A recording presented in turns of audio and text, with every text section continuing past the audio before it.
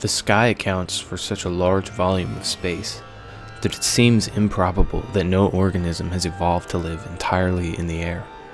Science has found life in the most arid deserts, the deepest oceans, the coldest tundra, active volcanoes, and just about any other location you can think of. No matter how far underground we go, there is always some sort of ecology.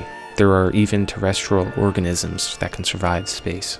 Yet for some reason, there is no atmosphere biome. Aside from some microbacteria and certain fungi that are carried into the sky through evaporation, storms, and wind, so why aren't there any creatures that live completely aerial lives? Before we jump to that conclusion, we should be certain we haven't missed anything. Sky beasts are cryptids that gained popularity in the mid 1900s and were described as being large, jellyfish like organisms floating in the sky. Sky beasts are usually thought of as being some sort of aquatic type creature that is adapted for the air rather than the ocean. They can range from whales to large amoeba, flying serpents, and fairies, and wisps of intelligent balls of light. Though there are certain instances of aerial organisms in folklore across the world, the idea mainly gained traction with the dawn of flight and the explosion of UFO sightings since the early 1900s. One of the most famous cases of a UFO sighting was by Kenneth Arnold on June 1947. The term flying saucer was coined by the reporter of this case. Kenneth saw nine flying discs and said that they were sort of like sky jellyfish. Oddly enough, the common person seems to be more willing to believe in aliens as the explanation for UFOs before any sort of terrestrial sky creature.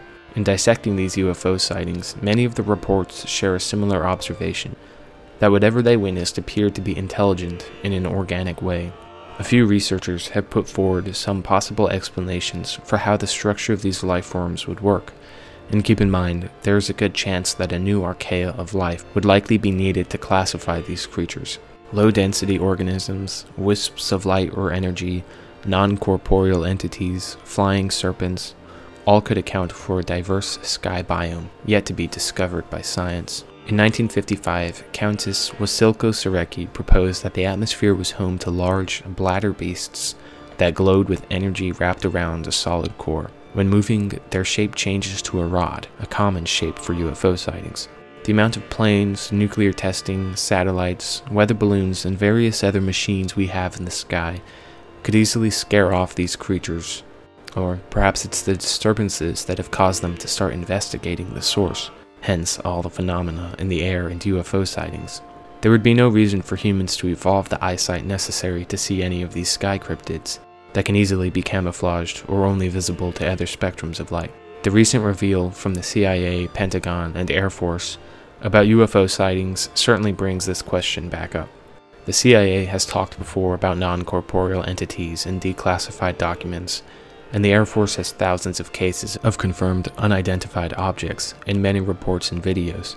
UFOs are not unique to America and occur all over the world. Humans occupy such a small percentage of the planet, and discoveries of new and incredible organisms happen every year. If we don't know what we're looking for, it's not likely we'll find it. James Trevor Constable claimed there were sky amoeba, he called critters.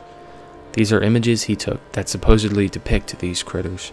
He claimed that they had to be seen with infrared lighting, but under some circumstances they reflect visible light, and this accounts for random UFO sightings.